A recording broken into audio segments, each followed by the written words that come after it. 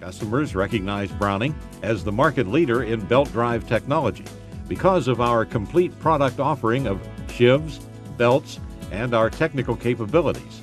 Our customers include all major HVAC original equipment manufacturers and countless industrial customers throughout the world. The V-Belt drive is one of industry's most efficient and popular means of power transmission. Properly selected, installed, and maintained, quality V-belts will provide years of reliable service and prolong the life of any motor. The single most important factor in providing optimum operating efficiency is maintaining proper belt tension. Incorrect tension is the most common problem with V-belts. This video will cover the fundamental steps to properly maintain your belts and sheaves, as well as instruct you how to check for wear. It will also cover the proper steps for installing new sheaves and belts, setting the proper tension, and how to use a Browning tension checker. First, whenever servicing any type of electrically driven machinery, turn the power off. Lock out and tag the main disconnect of the equipment. Remove the belt guard and clean it thoroughly.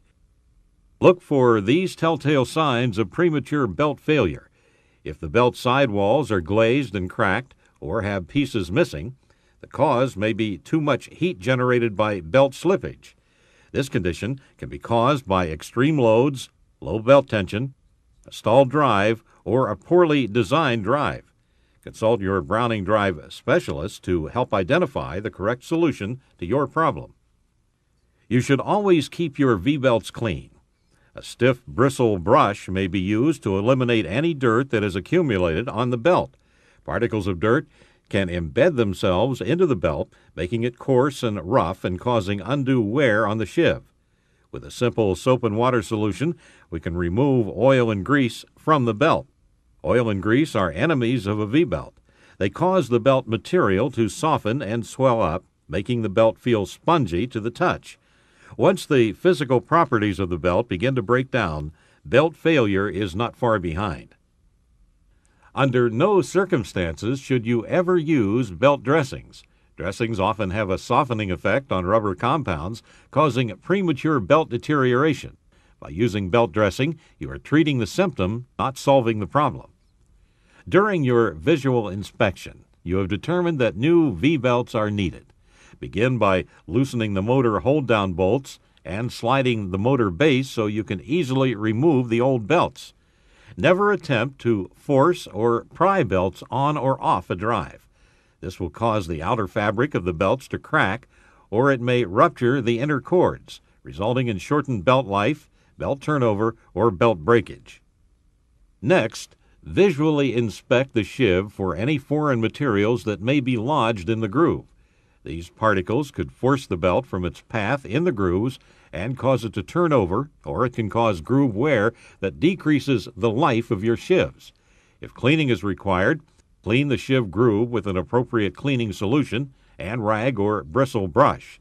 Then use the sheave gauge to check for sheave groove wear.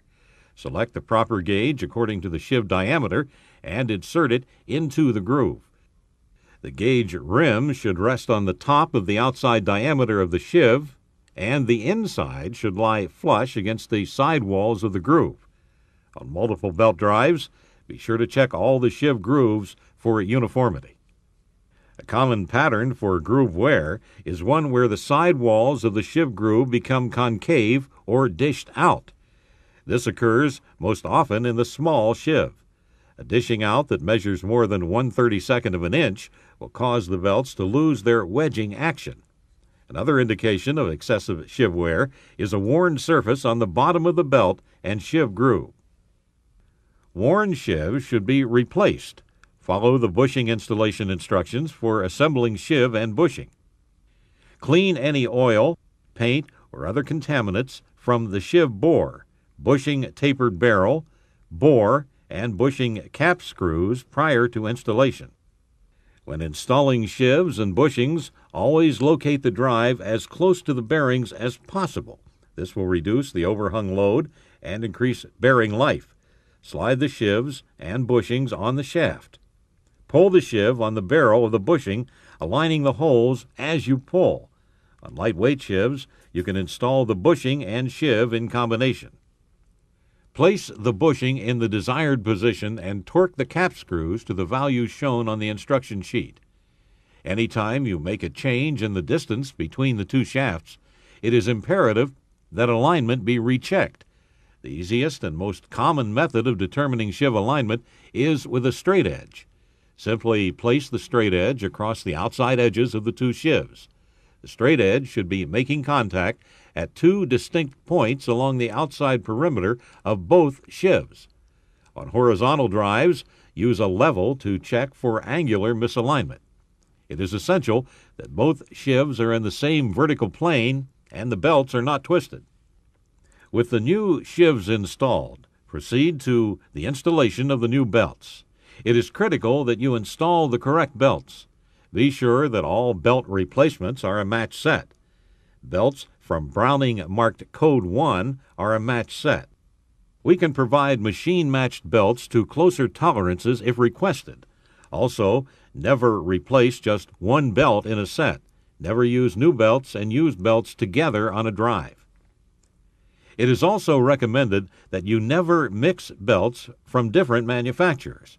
They may have different length and cord placements, and mixing them could result in much shorter belt life. Staying with one manufacturer will make identification and selection of belts much easier and result in better drive performance.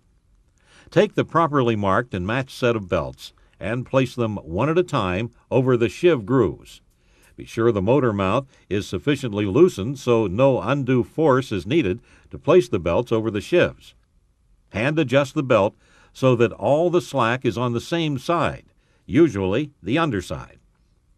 Tighten the belts by increasing the distance between the shafts until both spans of the belt are snug. Now you are ready to adjust the tension for the new set of belts. The best method to check V-belt tension is with a Browning tension checker. Use it when you install the new belts and use it again 24 hours later. This ensures that the tension remains accurate. Always use the manufacturer's guides and tables when using this valuable tool. With the motor off, locked out, and tagged, begin by measuring the span length where the belts enter the sheaves. In this example, the span length is 30 inches. Using that 30 inch measurement, we set the large O ring on the tension checker at 30, the deflection, and set the small O ring at 0 to measure the deflection force. Deflection force is the amount of force in pounds that it would take to deflect the sample belt. You can find this information on the Browning Tension Checker instruction sheet or on our drive printout from the website. To find the correct tension value, locate the belt cross section, the diameter of the small sheave, the RPM range of the small sheave, and then follow across the page to the correct belt type for a new belt. Here we can see that 20.1 pounds of force per belt is required. When using the edge printout, multiply the minimum tension by 1.5 for initial new belt startup. Place the large end of the Browning tension checker at the center of the belt span. Press down until the bottom of the large O-ring is even with the top of the adjacent belt. The small O-ring should now read 20.1 pounds. Now reset the small O-ring at zero and repeat the process on each of the other belts. Remember, it should be standard procedure to check the sheave alignment after any adjustment in the distance between the shafts. Run the drive for 15 to 20 minutes. This will give the belts time to seat themselves in the sheave grooves. Then recheck the belts to ensure minimum belt tension has been maintained. Over tension belts can be just as much a problem as under tension belts. Belts that run too tight put too much strain on the drive, causing the bearings to overheat. Each belt should ride consistently in the sheave groove from one belt to the next. When you have correctly installed the new belts, properly set the tension, and realigned the sheaves, you are now ready to reinstall the belt guard. This is a good time to apply your Browning drive label for future part identification. Drives that have longer spans, excessive vibration, or pulsating loads may have problems with individual V belts turning over or jumping off the drive. This is referred to as belt whip. Banded belts are used in these circumstances to dampen the vibration, reducing belt whip, and eliminating belt turnover. One last point that will add life to your drive belts. Occasionally, it may be necessary to shut down a drive for an extended period of time. It is highly recommended that the tension of the belts be relaxed during this period. This simple procedure prevents the belt from stiffening and hardening and losing its strength. When returning the drive back into operation, be sure to retension the belts and realign the sheaves. In review, as part of your regular maintenance, clean your belts and sheaves and check them for wear. When installing new sheaves, always remove the oil from the sheave and bushing. Be sure your new belts are a match set from the same manufacturer and never mix old belts with new. Most importantly, take the time to accurately set the tension of your new belts using the Browning Tension Checker. Always recheck the sheave alignment anytime you change the distance between sheaves. Properly installed and maintained, your Browning belts will deliver the superior performance for which they were designed. Once again, thank you for choosing Browning Belt Drive.